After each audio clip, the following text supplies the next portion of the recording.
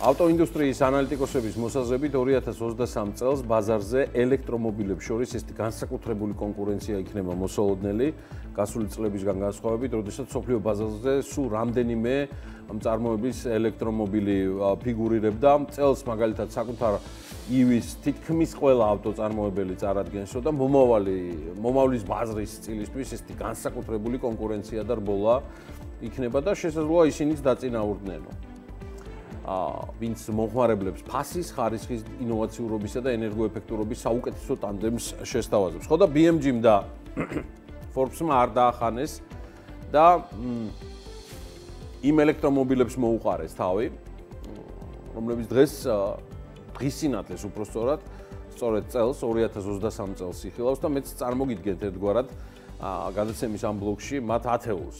Audi Q8 e-tron-ი. ეს გერმანული ავტომწარმოებელი საკუთარ ელექტროპარკს Q8 e-tron-ის განახლებული ვერსიით გამდიდრებს, მოდიფიცირებულ ვარიანტს უფრო დახვეწილი დიზაინი, დიდი ზომის ელემენტები ექნება და ვარაუდობენ რომ სამი ელექტროძრავით ახალი Audi Q8 e-tron-ი 496 ცხენის ძალას გამოიმუშავებს და ერთი დამოხტვით 600 კილომეტრს გაივლის. BMW i5 ჯერ კიდევ შარშან გამოშვებული i4-ით BMW-მ დაამტკიცა თუ როგორ შეიძლება გაელექტროებულმა მოდელმა წინამორბედს ყველა ასპექტში აჯობოს. წელს კი გერმანული გიგანტი მეხუთე სერიის ელექტროფიკაციას გეგმავს და i5-ს i5-ს ხუთს წარმოადგენს, რომელიც 600 ცხენის ძალას გამოიმუშავებს და ერთი დამოხტვით 570 კილომეტრს გაივლის. Cadillac Lyric Cadillac Lyric-ი ესე ერქმევა Cadillac-ის მოდელს რომელიც 2023 წელს ბრენდის პირველ ელექტრომობილს წარადგენს და ახალი ელექტრო სავი ორი კომპლექტაციით იქნება ხელმისაწვდომი და ერთი დამოხტვით 500 კილომეტრს გაივლის ელექტრომობილის ღირებულება შეერთებულ შტატებში 63000 დოლარიდან დაიწყება. Chevrolet Silverado, Chevrolet საკუთარ პირველ ელექტრო პიკაპ Silverado-ს გამოუშვებს და მძლავრი პიკაპი კონკურენციას Ford-ის F150 Lightning-ს გაუწევს. და 754 ცხენის ზარის გამომუშავება შეძლებს. Chevrolet გვპირდება რომ პიკაპი ერთი დამუხტვით 645 კილომეტრის გავლას შეძლებს. არჩება ვალში GMC GM-ში Hammer Savvy უფრო სწორად 2002 წელს Hammer-ის ელექტროპიკაპის ვერსიის წარდგენის შემდეგ GMC ლეგენდარული ავტომობილის ელექტრო სავის ვერსიასაც თავაზობს და ელექტრომობილს Hammer-ის შესაფერისი 830 ცხენის ძალის გამომუშავება შეიძლება. სამნახევარ წამში შეუძლია 100 კილომეტრ/საათამდე სიჩქარის განვითარება. რაც შეეხება გარბენს, ერთი დამოხტვით გვპირდებიან 1 რომ ჰამერი 480 კმ-ს დალაშქრავს. ნახოთ, ნახოთ, თელი წელი წინ არის.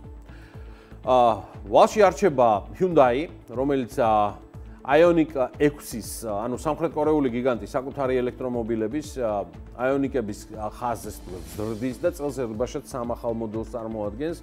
თუმცა ჩვენს ყურადღებას განსაკუთრებით Ioniq 6 იმსახურებს და იპყრობს დახვეწილი ელექტროსედანების კატეგორიაში Ioniq 6 ერთ-ერთი ყველაზე კონკურენტული მოდელი იქნება დამერწმუნეთ. ის ერთი დამოხტვით 550 კილომეტრის გავლა შეძლებს. ვალში არჩება არც Kia და ექსპერტების მოლოდინით Kia EV9 საწარმოო ვერსია, რომელიც 2023 წლის ზაფხულისთვის გამოჩნდება. სავარაუდოდ Kia-ს ელექტრომოდელი იქნება 7 დილიანისავი და ერთი დამოხტვით ისიც 500 კილომეტრამდე 480 კილომეტრს გაივლის და ელექტრომობილის ფასი 50000 დოლარის ფარგლებში იქნება.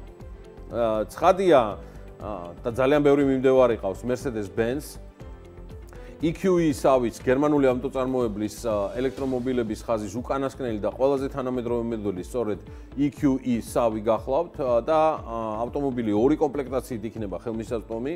ერთძრავიანი უკანა წამყვანი თვლების მქონე მოდელი 288 ცხენის ძალას გამოიმუშავებს, ორძრავიან მოდელს კი 536 ცხენის ძალის გამომუშავება შეიძლება. Mercedes-ის უახლესი ელექტრომოდელის ფასი 75000 დოლარიდან დაიწყება.